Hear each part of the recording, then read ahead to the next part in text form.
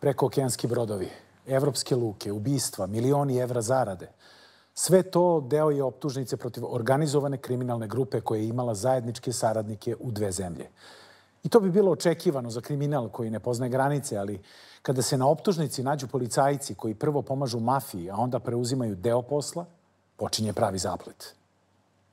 Ispostavit će se da je jedan od dva suprotstavljena crnogorska klana, Kavački klan, prema navodima tužilaštva u policijama obe zemlje napravio bazu koja je umesto državnim bila podređena interesima mafije. Tužilaštva Srbije i Crne Gore sada tvrde da je isti čovek bio organizator mreže saradnika u policijama obe zemlje. Do juče javnosti nepoznat. Crnogorski policajac Ljubo Milović prema navodima tužilaštva koristio je svoj uticaj koji je imao kao aktivni inspektor Uprave kriminalističke policije Crne Gore. Grupu je proširio i na Srbiju, zahvaljujući prema tvrdnjama tužilaštva vezama koje je po svemu sudeći je još kao student stekao na Višoj školi unutrašnjih poslova.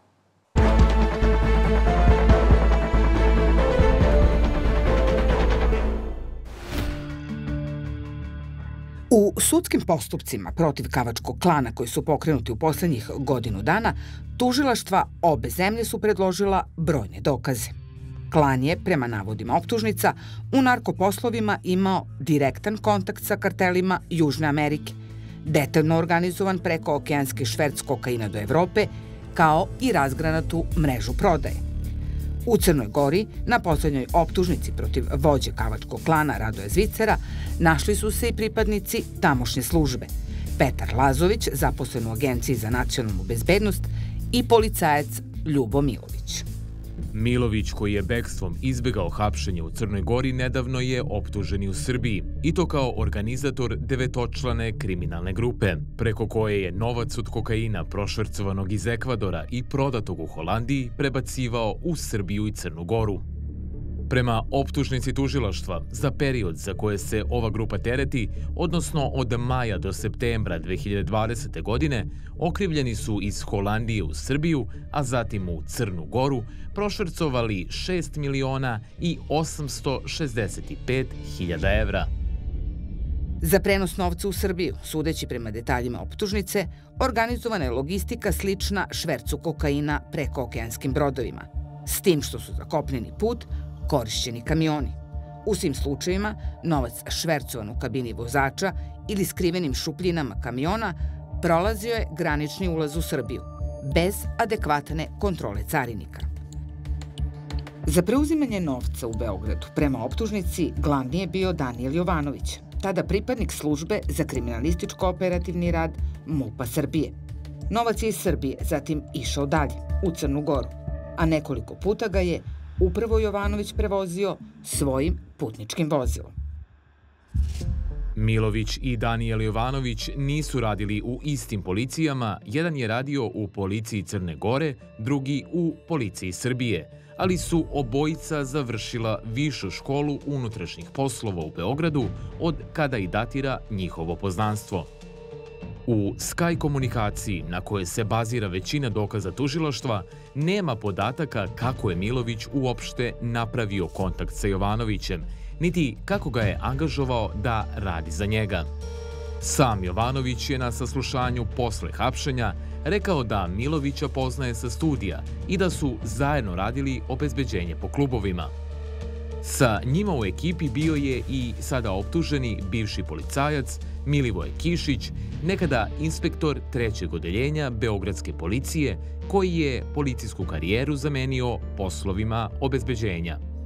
Osim novca, Jovanović je tvrdi tužilaštvo, prvo okrivljenom Miloviću prenosio i policijske podatke do kojih je dolazio u MUP-u Srbije, ali i službene podatke do kojih je zloupotrebom službenog položaja dolazila njegova supruga, kao pripadnica pete uprave BIE. Prema optužnici, Upravo je Bija prva i otkrila zloupotrebu računara optužene Dušice Jovanović, nakon čega su screenshotovane sve njene pretrage dokumentacije. Ipak, istraga počinje tek kada iz Evropola stižu poruke presretnute na Sky komunikaciji. Saradnja pojedinaca i sistema iz Srbije i Crne Gore na osnovu svega što piše u optužnici morala je trajati godinama. Ne navodi se, međutim, čiji je propust. To što je dozvoljeno da policajci rade u interesu mafije, a ne u interesu svojih država. Srpska bija imala je očito saznanje o tome da informacije cure, ali je pitanje da li je znala i kome. Formalna istraga pokrenuta je tek kada su sumnje da informacije iz srpske službe dolaze do kriminalne grupe potvrdile Sky poruke koje je francusko pravosuđe dostavilo srpskom tužilaštvu. Poruke koje su pripadnici organizovane kriminalne grupe razmenjivali preko Sky aplikacije, a koju je dostavilo francusko pravosuđe, citirane su u optužnici srpskog tužilaštva. Među porukama koje razmenjuju članovi grupe u januaru 2020.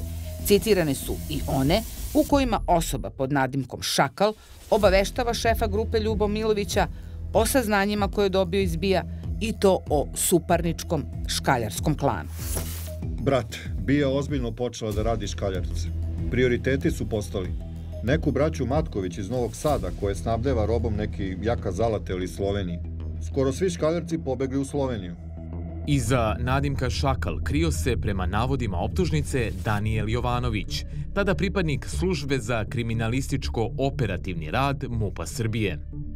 Tužilaštvo je Jovanovića kao šakala identifikovalo na osnovu niza informacija i fotografija iz Sky dokumentacije.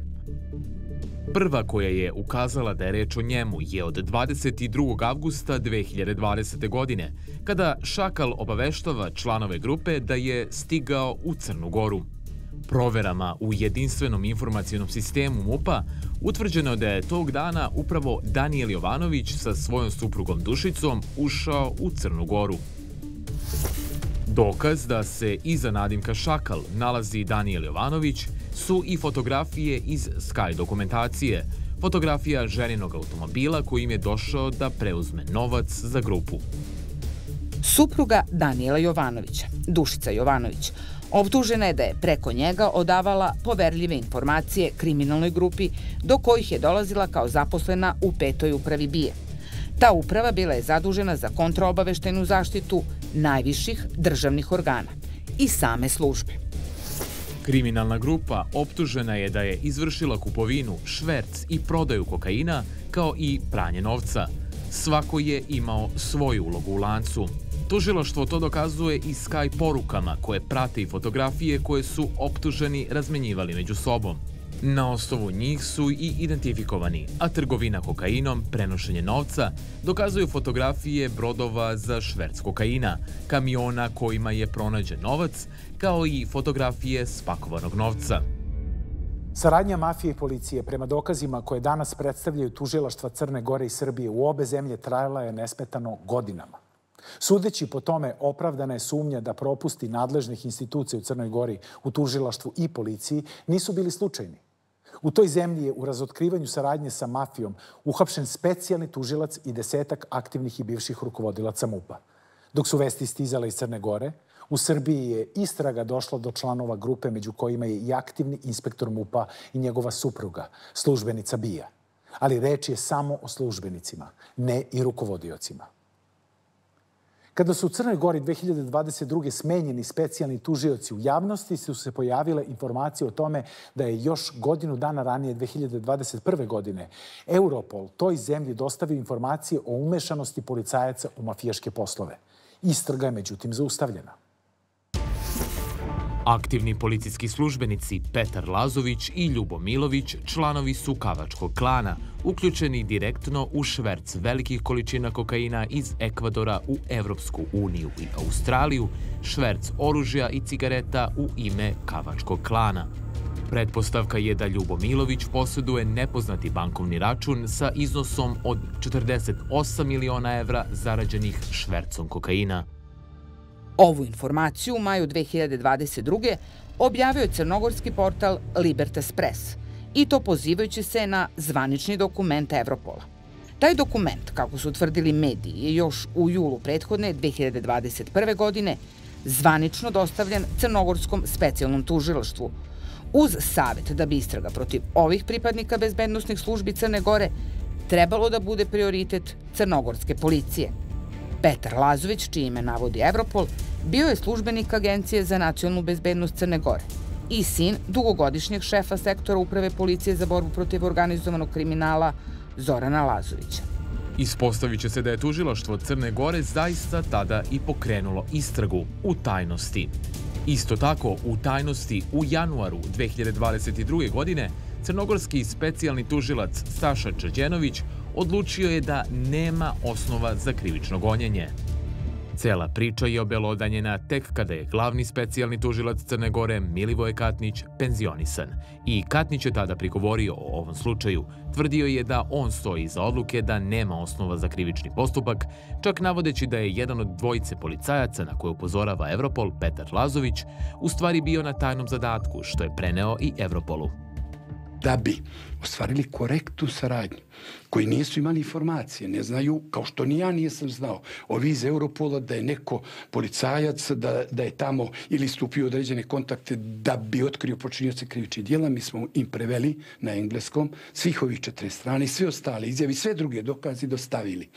Po onome što ja znam, oni su to izanalizirali i prihvatili Novi specijalni tužilac u Crnoj Gori koji je zamenio Katnića, Vladimir Novović je međutim imao drugačiji stav. Naložio je hapšenje obojice policajaca. Službenik Agencije za nacionalnu bezbednost Petar Lazović uhapšen je u julu 2022.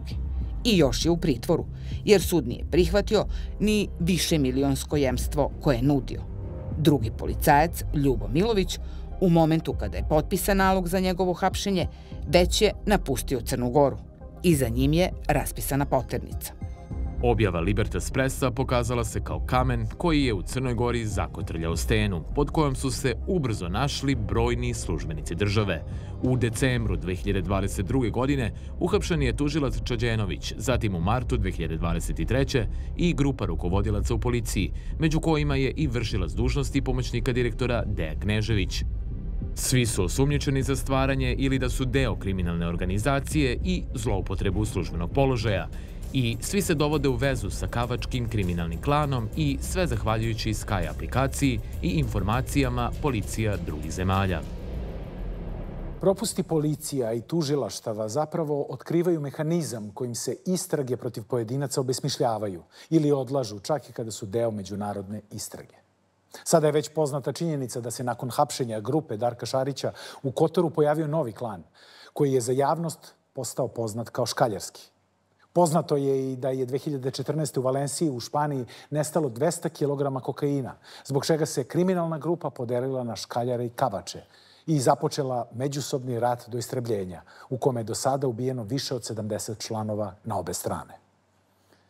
Vođa škaljaraca, Jovica Vukotić, ubijen je 2022. godine u Istanbulu, dok je vođa Kavača, Radoje Zvicer, danas optužen, ali u bekstvu. Klanovi su sve vreme vodili i borbu za preuzimanje srpskog podzemlja, a bez zaštite u državnim strukturama njihovo jačanje nije bilo moguće. Zato je pitanje ko ima moćnije jatake u policijama Crne Gore i Srbije postalo najvažnije. Rat pripadnika crnogorskih klanova Škaljarskog i Kavačkog vodio se u Crnoj Gori, Srbiji, širom Evrope, sve do Južne Amerike. Beograd je bio poprište profesionalnih likvidacija. Suparnici su ubijeni u sačekušama sa automatskim oružjem ili su im automobili dizani u vazduh. Iza rešetaka, međutim, češće su se nalazili pripadnici jednog klana, Škaljarskog. Posle 21. mafijaškog ubistva koja su izvršena 2018. i hapšenja osumnjičenih saradnika škaljara u restoranu Durmitor, ovo je postalo i očigledno. Međutim, tadašnji ministar unutrašnjih poslova Nebojša Stefanović imao je objašnjenje. Škaljari se više hapse jer ih i ima više, deluju intenzivnije i veći je broj njihovih članova uključenih u kriminalne aktivnosti. Tvrdio je i da nijedan klan u Srbiji nije niti će biti zaštićen. Ispostavilo se da ova tvrdnja ministra Stefanovića nije tačna. Saradnik Kavačkog klana u Beogradskom pozemlju bila je najmoćnija grupa, grupa Veljka Belivuka. Javna tajna da imaju zaštitnike u srpskoj policiji počela je da se razotkriva tek nakon Belivukovog hapšenja u februaru 2021. godine.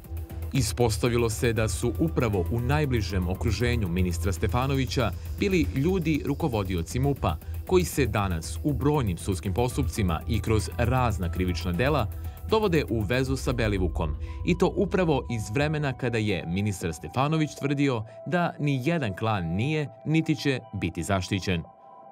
Policije Srbije i Crne Gore kao ni tužilaštva dve zemlje godinama nisu verovali jedni drugima, pa i saradnja bila ograničena.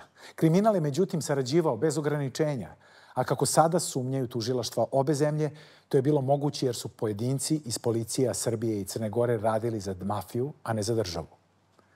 Crnogorski policajci Ljubo Milović i Petar Lazović prema sumnjama istraga otišli su mnogo dalje od svih do sada procesuiranih policajaca.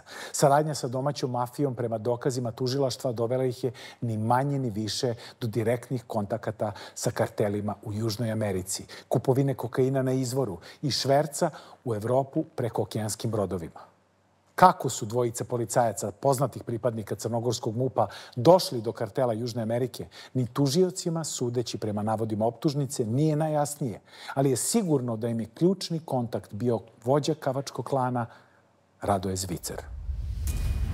Zli poručnik i oficir. Nadimci su na Sky aplikaciji za koju su tužilaštva identifikovala Ljuba Milovića, a preko kojih je sa vođom kavačkog klana i ostalim saradnicima razmenio na hiljade poruka. U optužnicama koje su protiv njega podignute najpre u Crnoj Gori, a zatim i u Srbiji, identifikovan je po fotografiji koje je 6. januara 2021. poslao Radoju Zviceru, vođi Kavačkog klana, koje je na Skaju koristio nadimak Bor. Na toj fotografiji Milović u rukama drži mitraljez MG-42, poznat kao Šarac, a uz svoju fotografiju Zviceru šalje plan za Božić, uz poruku Sutra iz ovoga grmim. Ova fotografija u daljoj istrazi upoređena je sa fotografijom lične karte koju je Milović pokazao na Beogradskom aerodromu 24. marta 2021. Pri ulasku u Srbiju i dan kasnije kada se iz Srbije vrati u Crnu Goru. Upoređivanjem fotografija utvrđeno je da se radi o istoj osobi.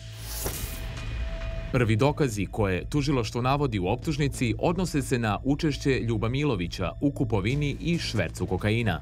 Milović je, tvrdi tužiloštvo, sa više nepoznatih osoba dogovorio kupovinu kokaina na teritoriji Južne Amerike.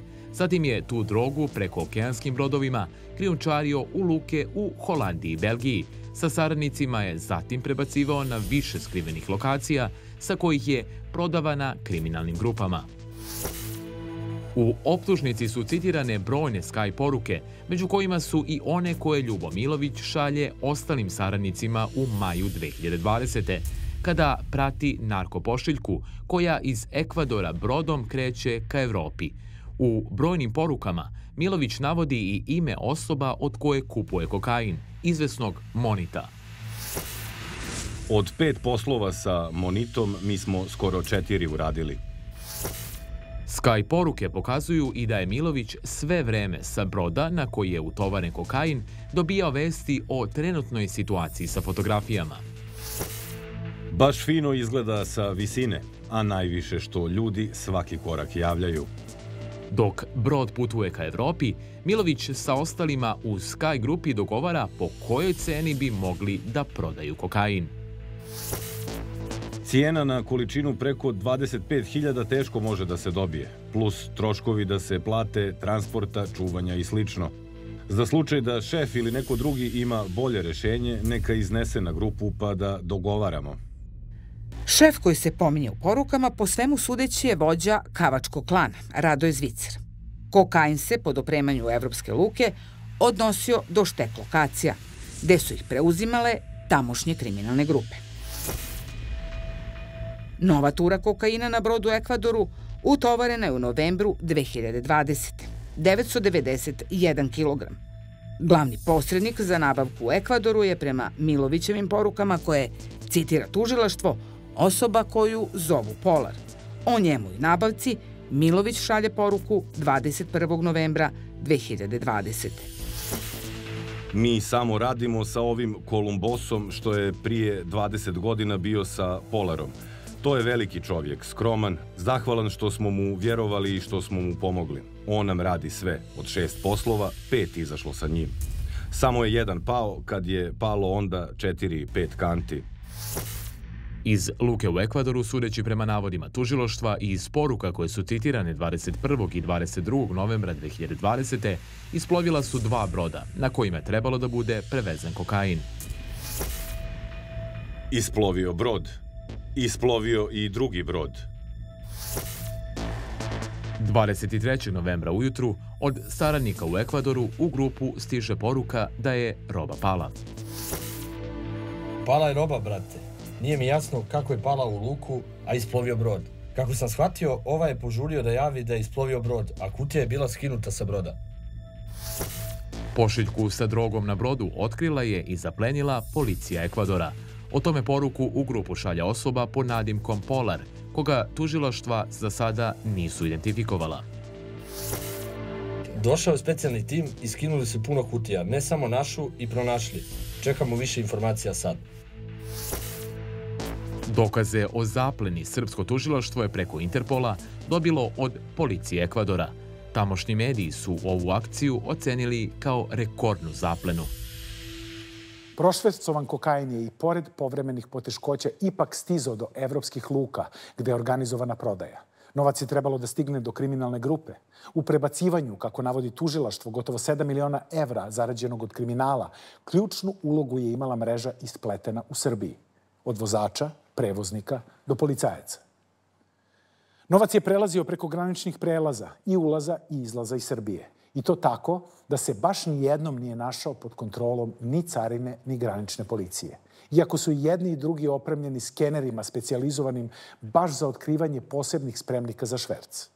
Ovo je samo jedan od ozbiljnih propusta svih onih koji su zaduženi za sprečavanje šverca i borbu protiv organizovanog kriminala.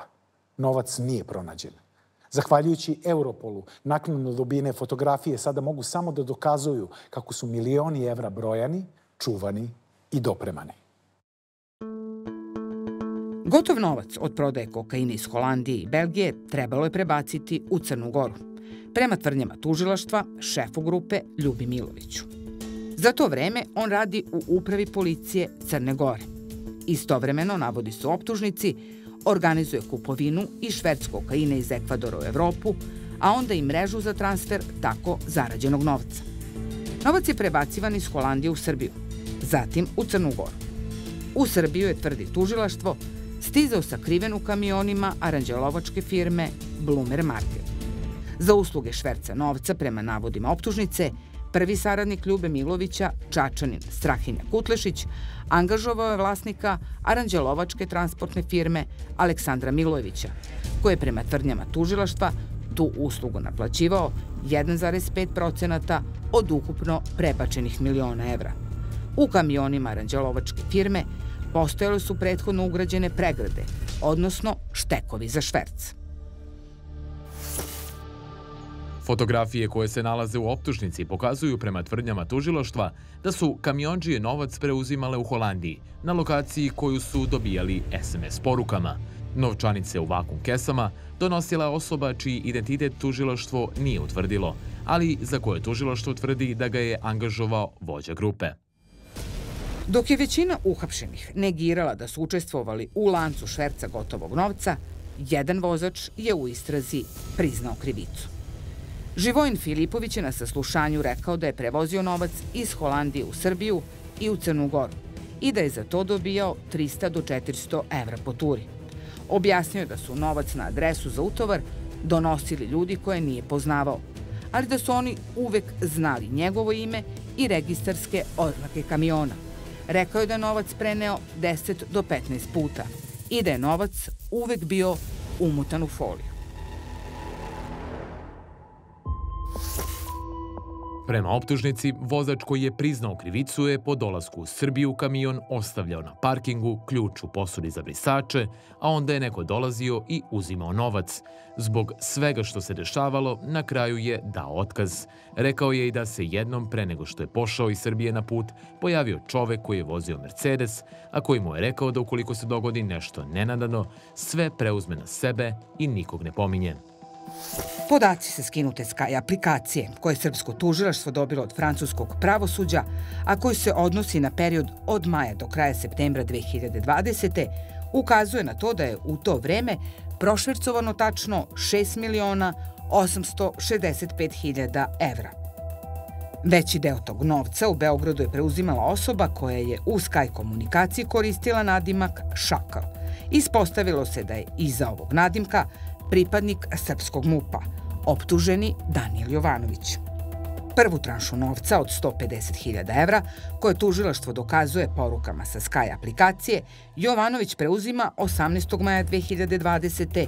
u blizini druge ekonomske škole u Beogradu. Sledeća tranša bila je 10 puta veća, milion i po evra. Taj novac je u Srbiju preko graničnog prelaza Horgoš kamionom prošercovan 22. maja. Narednog dana taj novac zajedno preuzimaju Danijel Jovanović i bivši policajac, a sada optuženi Milivoje Kišić. Novac je Jovanović, tada aktivni policajac, broja u porodičnom stanu u ulici Stojana Matića, zajedno sa suprugom Dušicom Jovanović, koja je bila službenica BIE. Iz poruka koje tužilaštvo citira iz Sky dokumentacije, vidi se da on sa Ljubomilovićem proverava iznos. Brate, molim te proveri pošto sam se sludao sa ovim parama. Stiglo milion i po plus 310 hiljada od komite što sam preuzeo iz dva puta, plus 89 hiljada uzeo od kamionđije. Dao Kisiću 595.500. Dao onom drugom 395.500. Uzeo ja 29.000 plus 15.000 što si rekao za auto, plus 1.000 što si mi rekao da uzmem odmah kad su stigle pare. Ostalo 863.000. Sad dao 500.000. Kod mene je ostalo 363.000. Taj novac je, tvrdi tužiloštvo, u stanu Danijela Jovanovića ostao do 22. avgusta 2020. kada ga je prebacio u Crnu Goru i to s tvojim BMW-om, u kome su, da ne bi izazvao sumnju carine i policije, sa njim bili supruga i dvoje dece. Pripadnik MUPA Srbije Danijel Jovanović prema dokazima tužiloštva još dva puta je preuzeo novac i prebacio ga u Crnu Goru i to više od 2 miliona evra. Umeđu vremenu, još milion i po evra prebačeno je u Crnu Goru direktno kamionom. U optužnici nema podataka da su pripadnici grupe Ljuba Milovića imali saradnike na graničnim prelazima u Srbiji, ali iz optužnice jasno da baš nijednom kamioni kojima je novac švercovan nisu bili meta carinske i granične kontrole. U optužnici je navedena poruka koju 29. septembra 2020. sada optuženi policajac Daniel Jovanović šalje crnogorskom kolegi, a sada prvookrivljenom Ljubi Miloviću u kojima komentariše carinske skenere. Na carinu kad uzmu onaj booster što meri gustinu, znaju da je to šupljina, a booster pokaže da je puno i ćao. Danijel Jovanović je u Crnu Goru putovao sa službenom legitimacijom UPA. Za posao koji je obavljao za Ljubu Milovića, odnosno za čuvanje, preuzimanje i prenos novca, uzimao je i deo za sebe, tvrdi tužiloštvo. Prema računici iz Sky poruka, Jovanović je u celom poslu uzeo više od 50.000 evra. Laka zarada, odnosno prljav novac, na kraju je svake kriminalne priče, ali zaplet je uvek komplikovaniji od puke kupovine, prodaje narkotika i raspoređivanja novca. Zaštitu članovima bande jedino su mogle da osiguraju tačne i brze informacije o onome šta rade bezbednostne službe i kriminalni suparnici. To po svemu sudeći u ovom slučaju nije bilo teško, jer su i vođa i neki od članova grupe prema navodima tužilaštva bili aktivni policajci, pa i službenica Bezbednostne agencije Srbije. Kriminalna grupa je prema navodima tužilaštva lako dolazila do svih informacija koje su im bile potrebne. Optuženi Daniel Jovanović, policajac u činu majora, radio je kao kriminalistički inspektor u službi za kriminalističko obaveštajni rad. Mnogo interesantni i važni podaci su bili oni koje dobije od supruge, zaposlene kao samostane analitičarke u petoj upravi BIA. Za potrebe klana, Dušica Jovanović pretraživala je, kako navodi tužilaštvo, podatke o saradnicima Luke Bojovića, o škaljarskoj grupi, Nikšićkom klanu, crnogorskim političarima i biznismenima. Šefu grupe, Ljubi Miloviću, najvažnije sudeći prema saznanjima tužilaštva, bilo da sazna ko su im veze u Beogradu i da li su saradnici, odnosno doušnici, srpske bije. Na svom službenom kompjuteru, kako tvrdi tužiloštvo, optužena Dušica Jovanović pretraživala je podatke o prvom saradniku Luke Bojovića, Veljku Banoviću Votki. Njen suprug je zatim te podatke prenosio Ljubi Miloviću. Banović je poznati po tome što je bio meta čiju je likvidaciju, kako tvrde svedoci saradnici, planirao i klan Veljka Belivuka. Sky poruke pokazuju da Jovanović informacije bija prenosi Miloviću u januaru 2020. godine. Votku čuvaju neki policajci iz Paliluske stanice policije. Piše samo da je desna ruka Luke Bojovića i sve što se bukvalno zna je ovako zvanično. U daljim porukama Jovanović prenosi da bija ozbiljno radi škaljarce. Zatim navodi njihova imena. Informaciju da su svi pobegli u Sloveniju – kao i da se priča da je Igo Dedović, visoko pozicionirani pripadnik škaljarske kriminalne grupe, hteo da preuzme da sam vodi klan. Ovu informaciju Jovanović Miloviću šalje 23. januara 2020. Četiri dana nakon što je Dedović ubijen u čuvenoj pucnjavi u restoranu u Atini. U porukama Jovanović pominje i izvesnog Bačovića, Pod ovim prezimenom, kao bezbedonosno interesantna osoba, javnosti je poznat Radomir Bačović, vođa Nikšićkog klana, blizak škaljarcima.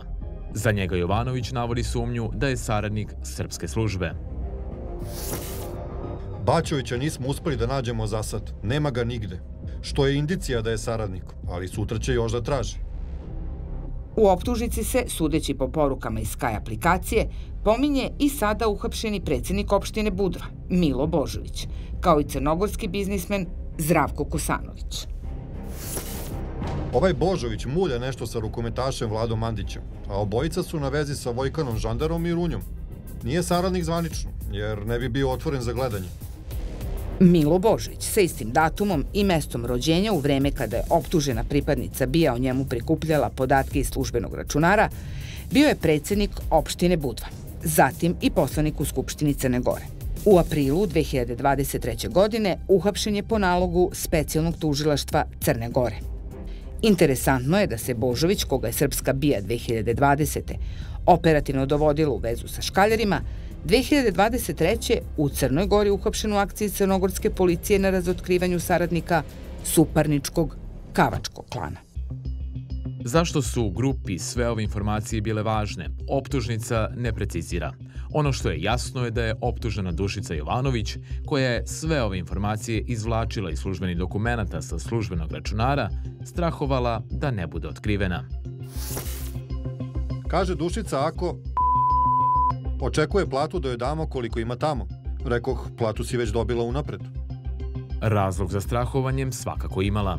U vreme kada optužena pripadnica BIA skida službene podatke, njen kompjuter već je, kako sada otkriva optužnica, bio pod tajnom kontrolom njenih kolega, koji su očigledno prema koleginici iz pete uprave imali određene sumnje. Svaka njena radnja na kompjuteru bila je pod tajnim nadzorom i od svake je tajno pravljen snimak ekrana, a te fotografije su danas deo dokaza kojima tužilaštvo zastupa optužnicu. Ostalo je nejasno zašto istraga nije počela još tada, nego tek pošto su stigle Sky prepiske iz Francuske. Istrage u Srbiji i Crnoj Gori vođene su nezavisno. Ali tek kada se ukrste podaci iz postupaka koji se vode u obe zemlje, jasna je moć saradničke mreže koju je mafija, pre svega kavački klan, ima u bezbednostnim službama obe zemlje. Dokazi sa Sky aplikacije osvetljavaju samo period od dešifrovanja poruka, odnosno od početka 2020. Međutim, iz sadržaja poruka jasno je da je mreža napravljena mnogo ranije. Kada tačno, nije poznato, ali je u svakom slučaju predugo da bi se neotkrivanje mreže mafijaša i policajaca ocenilo samo kao nenameran propust. U vreme kada su rukovodioci MUPA tvrdili da vode rat protiv organizovanog kriminala, i da policija ne štiti ni jedan klan, u Beogradu je jačala grupa glavnih saradnika Kavačkog klana, klan Beljka Belivuka. Tom klanu danas se na teret stavlja sedam ubistava, počinjenih 2019. i 2020. Neposredno pred hapšenje u februaru 2021. Belivuk i njegov prvi saradnik Marko Milković bili su u Crnoj Gori, u gostima kod vođe Kavača Radoja Zvicera. Zvicer je ubrzo posle hapšanja Belivuka i Miljkovića pobegao iz Crne Gore. Podignutim optužnicama jasno je koga je u to vreme i mnogo pre toga u crnogorskim institucijama štitio.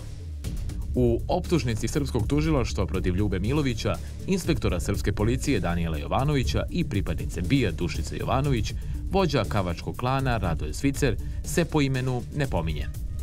Ipak, nekoliko puta su citirane poruke koje Ljubomilović preko Sky zaštićene mreže razmenjuje sa osobom koja koristi nadimak Born. Kao korisnik tog nadimka, u optužnicama Crnogorskog tužiloštva identifikovan je Radoje Zvicer. Upravo Bornu, kako citira srpsko tužiloštvo, Milović i šalje fotografiju sa mitraljezom u rukama, na osnovu koje je Milović identifikovan. Dan nakon hapšenja grupe Veljka Belivuka, Milović prema citiranim porukama najpre obaveštava Borna da je prekookeanski brod sa kokainom iz Južne Amerike stigao u Evropsku luku, a onda se Born raspituje o hapšenju Belivuka. Javlja li što šakal? Nije u BG, na Koponiku je. Sada ću ga pitati da li šta zna. Ima li koga pitati? O hapšenju Belivuka Milović se zatim raspituje kod srpskog policajca, Danijela Jovanovića. Javlja li KP šta? Za nevolju. Imaš li koga pitati? Šta kaže klošar? Ma kakav klošar. Teško ću saznati detalje pre ponedeljka kad se budem video sa kolegom iz SBPOK. Izašao u vestima, pa se dopisivao sa njim, pa taman se dogovorio da pijemo kafu u ponedeljak. A on učestvovao u akciji. Sa Radojem Zvicerom, tek posle bekstva iz Crne Gore, raspisane su poternice. Poternica je raspisana i za Ljubomilovićem, koji je takođe iz Crne Gore pobegao pre nego što je izdat nalog za njegovo hapšenje. Koliko je moćna mreža i sa kim su sve povezani policajci koji su radili za mafiju nije bilo jasno ni nakon što su saradnici Ljuba Milovića uhapšeni u Srbiji u avgustu 2022. Zvanično je saopšteno da su u akciji sektora unutrašnje kontrole uhapšeni policijski inspektor Daniel Jovanović, njegova supruga Dušica Jovanović, pripadnica BIA, bivši inspektor Milivoj Kišić, dvojica vozača i šef transporta aranđelovačke firme, čijim kamionima je švercovan novac od kokaina. Ljubo Milović, njegov saradnik Strahinja Kutlešić iz Čačka, kao i vlasnik aranđelovačke transportne firme Aleksandar Milojević i danas su u bekstvu. Dok se kriminalna mreža Balkana u kojoj su se upleli i policajci polako razotkrivala, odlukom apelacijonog suda u Beogradu, svi uhapšeni iz grupe Ljuba Milovića u Srbiji pušteni su iz zatvorskog pritvora. Na saslušanju u tužilaštvu, dan posle hapšenja, Okrivljeni kriminalistički inspektor Daniel Jovanović tvrdio je da nije kriv, da nije član kriminalne grupe, da nikada nije imao Sky telefon, kao i da je Ljubu Milovića poslednji put video na svadbi šest godina ranije i da sa njim od tada nije imao nikakav kontakt. Njegova supruga Dušica, kao i okrivljeni bivši inspektor Beogradske policije Milivoj Kišić, branili su se ćutanjem. Šef transporta aranđelovačke firme Miodrag Pamučina tvrdio je da ni jednom vozaču kamiona nije nalagao da preuzima novac, niti da novac prenose iz inostranstva u Srbiju. Krivicu je negirao i vozač kamiona Milan Krstović, koji je na saslušanju tvrdio da nikada nije radio prevoz novca, niti je video novac, niti ga je za to iko pitao – Jedini koji je priznao šta se dešavalo, vozač Živojin Filipović je, odmah nakon priznanja, pušten da se brani sa slobode. Osam meseci kasnije, u aprilu 2023. iz zatvorskog pritvora su pušteni i ostali okrivljeni. Ključan argument tužilaštva protiv ovakve odluke bila je činjenica da novac nije pronađen i da postoji opasnost da bi okrivljeni mogli da ga iskoriste za skrivanje ili bekstvo u čemu bi imali podršku ostalih odbeglih saradnika, među kojima je i organizator grupe. Apelacioni sud koji odlučivao po žalbama advokata uhapšenih imao je drugačiji stav. Navedeni razlozi, iako i po nalaženju apelacionog suda u Beogradu, ukazuju na određeni stepen opasnosti od bekstva, odnosno od ponavljanja krivičnog dela u kratkom vremenskom periodu od strane okrivljenog, ne ukazuju da je opasnost takvog intenziteta da je dalje zadržavanje okrivljenih u pritvoru nužno, odnosno da je prema okrivljenima i dalje neophodno primenjivati najtežu meru za obezbeđenje prisustva okrivljenih radi nesmetanog vođenja ovog krivičnog postupka. Optužnica protiv ove grupe je umeđu vremenu potvrđena. Sa detaljima koji su u njoj navedeni, postalo je jasno da je ova grupa bila deo velike međunarodne kokainske mreže, povezane sa prodavcima kokaina u Ekvadoru, narkogrupama iz Holandije i Belgije i pre svega sa crnogorskim kavačkim klanom i njihovim saradnicima u službama. Veliki deo priče trebalo bi da bude zaokružen postupcima koji se vode u Srbiji i Crnoj Gori, u kojoj je u januaru 2023. podignuta optužnica protiv Radoja Zvicera, vođe Kavačkog klana i njegovih prvih saradnika, policajca Ljuba Milovića i Petra Lazovića. Optuženi su za brojna krivična dela od organizovanja kriminalne grupe do šverca kokaina, ali i za ubistvo. Ispostavit će se da nije samo otkrivanje kriminalnih grupa i njihovih saradnika pitanje političke volje, već da je i saradnja sa Europolom opterećena unutrašnjim političkim odnosima. Da Kavački klan napreduje u poslovima šverca kokaina i da u ratu protiv konkurencije ima zaštitu pojedinaca iz javne i tajne službe, od javne tajne postalo je pravosudno pitanje tek kada je u Podgorici počela istraga protiv policajaca Ljuba Milovića i Petra Lazovića. Vlada Dritana Abazovića tvrdila je da je Crna Gora bila na nekoj vrsti crne liste zbog nereagovanja na dokaze koji su dolazili iz Evropola u periodu kada je specijalnim tužilaštvom rukovodio prethodni specijalni tužilac Milivoje Katnić, kao i zbog curenja informacija kao onima koji bi trebalo da su osumničeni. Istraga je u martu 2023 dovela do novih hapšenja, i to grupe bivših i sadašnjih rukovodilaca policije. U aprilu 2023. u intervjuu za Insider premijer Crne Gore rekao je da se sumnja da je otkrivena grupa odgovorna za šverc oko 30 tona kokaina. Poraz države je zato što je država dozvolila da se toliko da, to organizovanih kriminalnih grupa toliko poraste njihova moć unutar, unutar države da je dozvolila da se brojni ljudi infiltriraju u razne državne organe, nije uprava policije jedini državni organ gdje njih ima, njih ima i u drugim i organima sudske vlasti i u drugim agencijama i tako dalje. Vrijedi napomenuti da ovaj narkokartel o kome mi pričamo je po nekim izvještajima, iako oni nisu konačni, možda su možda nije u, u, pogođeno u milimetar što se kaže, odgovorni za šverc preko 30, kilo, 30 tona kokaina u prethodnih 5 ili 6 godina. I mi možemo da pričamo o kom obimu novca se radi. To je obim novca, veličina novca koja je veća nego što, je nam, nego što mi imamo u državnom trezoru. A koliko je novca kriminalna grupa zarađivala, ilustruje poruka koju je policajac Ljubo Milović 11. decembra 2020. godine poslao u chat grupu u kojoj su njegov kolega Petar Lazović i šef kabačkog klana Radoje Zvicer a prema kojoj na bankovnom računu Milović ima više od 49 miliona evra. Ovu poruku dobijenu sa Sky aplikacije objavio je crnogorski portal Libertas Press u maju 2022. godine. Godinu dana kasnije podignuta je optužnica. U to vreme stigli su po svemu sudeći i novi podaci Evropola o kojima je govorio crnogorski ministar zadužen za borbu protiv korupcije Zoran Miljanić. Navodno, oni pokazuju da ima još policajaca, koji na računima inostranstva imaju više od 50 miliona evra. Međutim, pitanje je kako će se cela priča završiti, jer još traje stručna rasprava o tome da li su Sky dokazi validni na sudu. Mafija je jačala. Istraga nije bilo. Novac je policajce preveo na drugu stranu zakona, a tužilaštva i policije Srbije i Crne Gore nisu sarađivale u borbi protiv kriminala. Baš u tome su pojedinci iz državnih struktura videli svoju šansu. Na pitanje o tome je posle hapšenja policajaca 2023. u Crnoj Gori za Insider odgovarao ministar unutrašnjih poslova Filip Adžić u vladi Drita Nabazovića.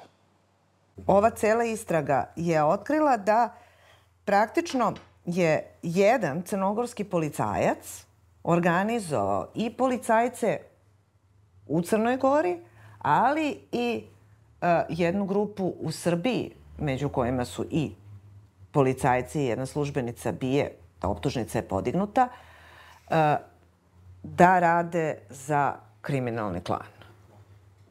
Taj policajac je bio aktivni policajac, reč je o Ljubomiloviću. Kako je moguće da je napravio takvu mrežu za koju ga sada sumnječe očito i pravosuđa Srbije i Crne Gore. Ono što je poznato i iz onih nesrećnih 90. godina, ali što se potvrđuje uh -huh. i danas je da su kriminalne strukture iz svih zemalja regiona uvijek mnogo bolje sarađivale nego naše institucije i generalno građani e, susjednih, susjednih država. Jeste, dakle, ovo su ljudi iz samo, institucija, zato vas to pitam. Ovo se samo preslikalo, preslikao taj model saradnje kada su veliki interesi u pitanju i kada tako značajan uticaj je prije svega dolazio na bazi velike finansijske moći.